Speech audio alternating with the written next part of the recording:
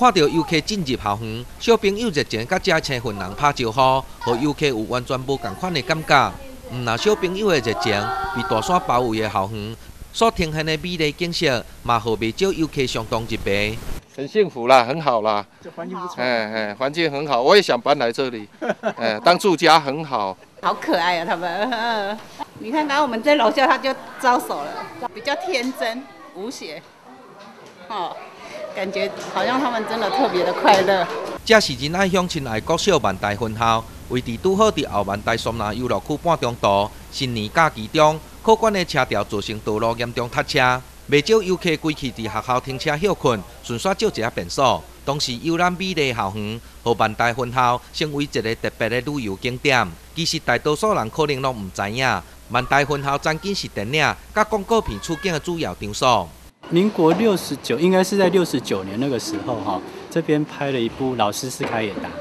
那当时有那个胡冠珍主演，当时也让有也有很多的小朋友参与这个里面的一些演出的镜头。以我们这个学校这个地方，哈，拍过的片子其实不止那一部。然后，斯迪麦的广告最少拍了两部到三部。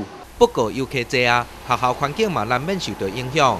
部落囡仔过年假期多数留伫部落，嘛时常走来学校，顺手协助清理校园。老师表示，假期过后，学生的环境清洁工作难免加较重。除了希望游客帮忙保持环境整洁以外，嘛教育囡仔，唔通因此对游客进入校园产生反感。很希望说，如果说游客来这边，很欢迎到我们学校来来看一看。但是真的环境的部分，帮我们一起来维护。我们是希望说，小孩子哈，不要因为说啊假日啊，然后觉得环境要花时间整理，就因为这样心里不舒服。我们觉得说，应该还是保持一个愉快的心情，好，然后这样来做互动。因为有一天我们会去当游客嘛。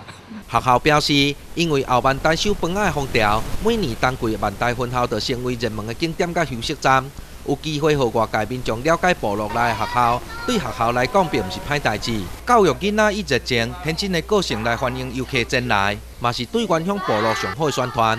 因欢迎游客来到校园，只希望游客嘛将学校当作家己的厝，会当多多爱护甲珍惜。